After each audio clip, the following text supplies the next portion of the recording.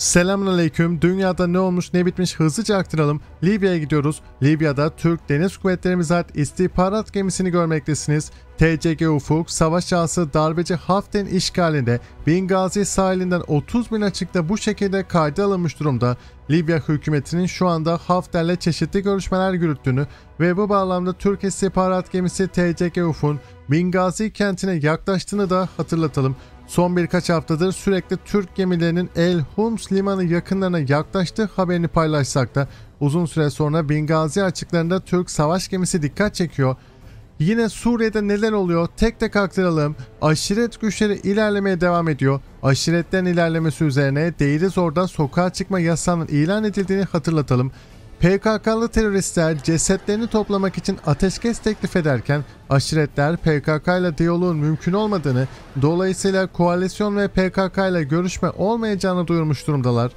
Burada koalisyonla da görüşme istemedikleri belirtiliyor. Koalisyonun verdikleri sözü tutmadığı yönünde aşiretler isyan ederken daha sonrasında aşiret güçlerine ait Türkmen ve Arap gruplardan oluşan büyük bir askeri konvoyun mühimmet cephe hattına doğru ilerlediği belirtiliyor.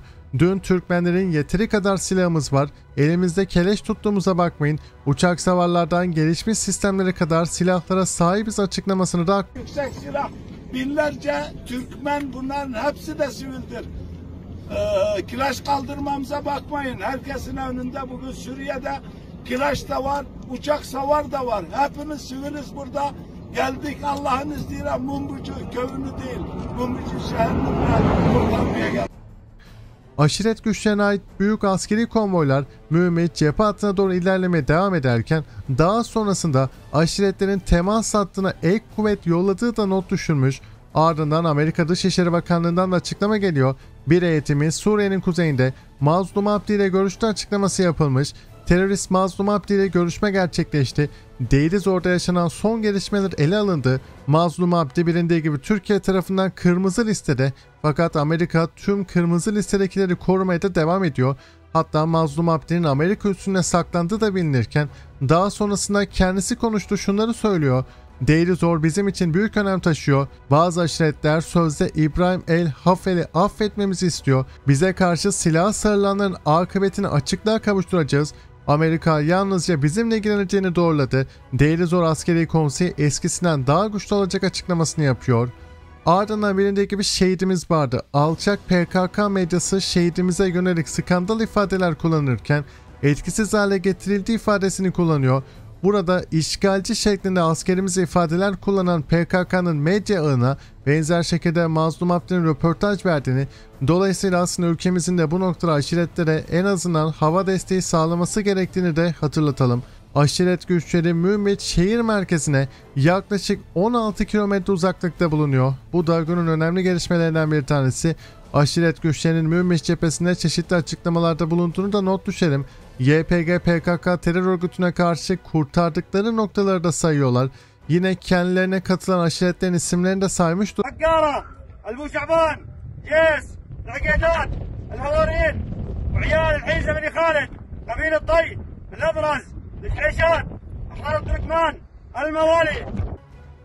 Aşiret güçlerinin gece saatlerinde çatıştığı belirtilirken maalesef karanlık olduğu için net görüntüler yok.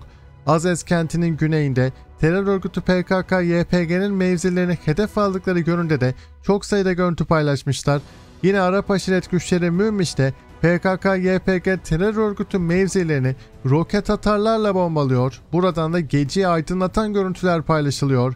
Ardından Münmiş bölgesinde Damalka aşiretine taraf değiştirdi. Terör örgütü PKK-YPG'ye karşı genel seferberlik çağrısında bulundu. Bazı aşiretler uzun süredir sessizdi. Bu olaylarda bana dokunmayan yılan bin yıl yaşasın mantığıyla düşünen aşiretler yavaş yavaş akıllanmış gözüküyor. Yine Suriye eski başbakanı konuştu. PKK Esad işbirliğine yönelik şunları söylüyor. Türkiye'nin sırtına hançer saplamak için PKK'ya ihtiyacımız var açıklamasını yapıyor. Dün yayınladığımız görüntülerde terör örgütü PKK'nın Ziban ki çatışmaların sürekli devam ettiği ve sürekli el değiştiren bölgeden bahsediyoruz. Ziban ve El Tayana ilçelerini havan ve dronlarla bombalaması sonrasında sivillerin Deirizor'un doğu kırsalında Fırat'ın batısına nehirden kaçmaya çalıştığını söylemiştik. Bilindiği gibi bölgedeki köprüler özellikle Deirezor civarındaki Fırat Nehri'nde bulunan köprüler daha öncesinde teröristler tarafından vurulmuştu. Nehir geçişleri yüzer köprülerle de sağlanıyordu. Halk buradan teknelerle kaçmaya çalışıyor. Çok sayıda görüntü paylaşılmış. Halkın durumunun zor olduğu, aşiret güçlerinin Deirezor kırsalında Ziban kasabasında terör örgütü PKK ve YPG'ye karşı halen savunma ve direnişte olduğunu not düşelim. Kritik nokta PKK büyük bir konvoy bölgeye yollasa da aşiretler kısıtlı imkanlarla direnmeye devam ediyor. Yine rejim milisleri de İdlib'in kırsalında Kafkin kasabasını roket atarlarla bombalamış durumda. Aşiret güçleriyle gece saatlerinde yaşanan çatışmada 4 YPG'li PKK'lı teröristin daha gebertildiği duyurulurken ülkemiz ise Irak'ta operasyon düzenliyor. Rudava konuşan Irak Kandil Belediye Eş Başkanı şeklinde bir paylaşımda bulunulmuş. Dilşehir İbrahim konuşuyor. Öğleden sonra belediye binası önündeki bir kamyonun SİHA tarafından hedef alındığını söyledi. İbrahim şoför tarafından bina önüne park edilen aracın ve belediye binasının zarar gördüğünü, bombardımanda can kaybının yaşanmadığını ifade ediyor. Kısacası ordumuz teröristlere karşı operasyon düzenlerken aracın son haline bakıldığında teröristler sürekli can kaybı yaşanmadı ifadesiyle kendisini kandırırken yine Türk Devlet Medyası Anadolu Ajansı da İran ve Rusya'nın saldırı yaptığını duyuruyor. Biz bu haberi dün aktarmıştık. Fakat resmi olarak Türk Devlet Medyası'nda da paylaşılmış. Kısaca özetleyelim. Suriye ordusu ve İran destekli gruplar İdlib'in güneyindeki Belyon, Hızarin, Fatira, Kensafra, Kefevarit, Şufin ve İdlib'in kuzeyinde Maret Nasan köylerini karadan karaya atış yaparak silahlarla yoğun şekilde vurmuş durumda. Bölgede adeta bir sivil katliamın gerçekleştiğini de hatırlatıyor.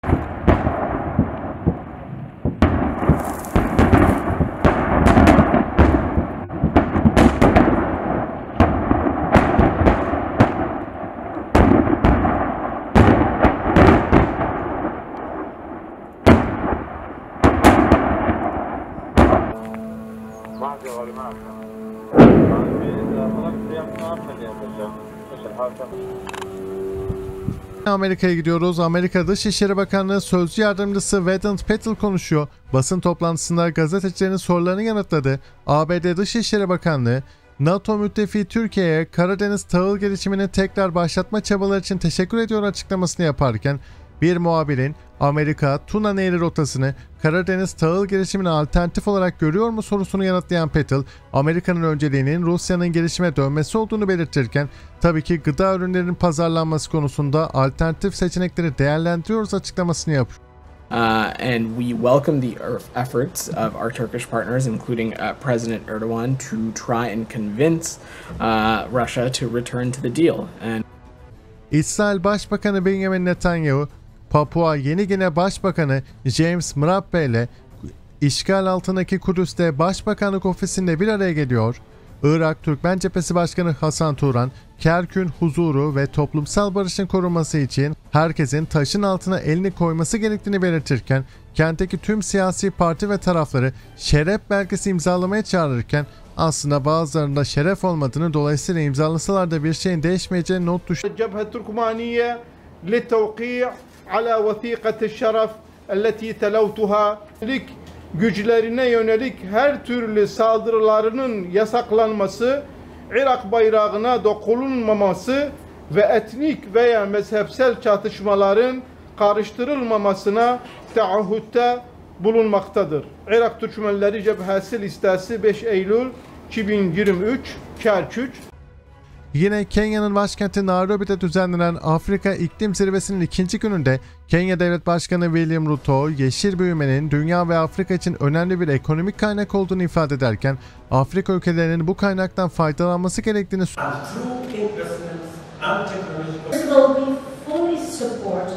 through Kırgızistan Cumhurbaşkanı Sadır Japarov ülkesini ziyaret eden kamu baş denetçisi Ombusman Şeref Malkoç'u kabul ediyor. Cumhurbaşkanlığı basın servisinden yapılan açıklamada Japarov'un Malkoç'ta iki ülkenin ombusmanlık kurumları arasında temas ve deneyim alışverişinde bulunma çabasını takdir ettiği de not düşün. Osmanlı birlikte çalışma yapacağız.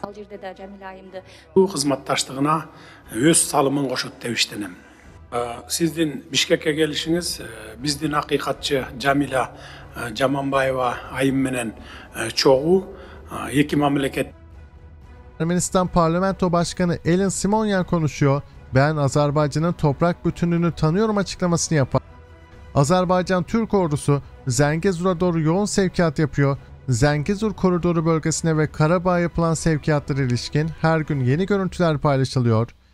Kazakistan'a gidiyoruz. Angola vatandaşı üniversite 4. sınıf öğrencisi Ferreira Elisha Kazakça konuşuyor. Kendisi devlet başkanı Kasım Cömert Tokayev ile Kazak dilinde konuşurken günümüzde maalesef Kazakların büyük çoğunluğu kendi dilini bilmezken Angola'dan gelen öğrencinin Kazakça konuşması ise dikkat çekti. Ronda da oy. Bizim katta.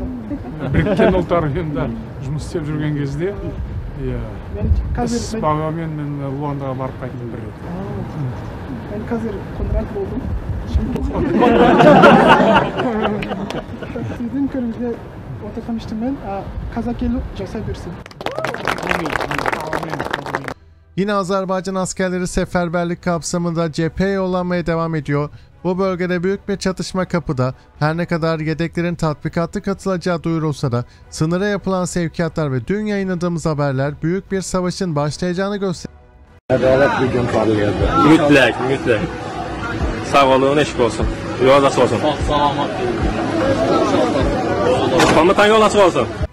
Hindistan G20 için bastırdığı davetiyelere yeni ülke ismi olan Baharat'ı yazmış durumda. Bundan sonrasında Hindistan ismi kullanılmayacak.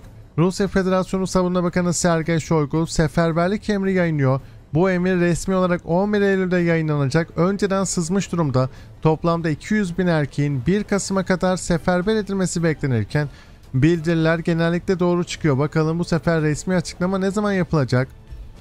Yine bilindiği gibi kolektif güvenlik anlaşması örgütü tatbikatı Belarus'ta düzenleniyor. Türk ülkelerinden Kazakistan ve Kırgızistan da bu tatbikatta yer alırken Bires bölgesinde dronlar, tekneler ve çeşitli sistemlerin yer aldığı kolektif güvenlik anlaşması örgütü tatbikatından görüntüler paylaşılmış. 2500 asker becerilerini geliştiriyor paylaşımı yapılırken özel kuvvet müfreze piyadeleri Mukoves nehrinde ele geçirilen gemiye operasyon düzenlerken tatbikatın senaryosundan bahsedilmiş.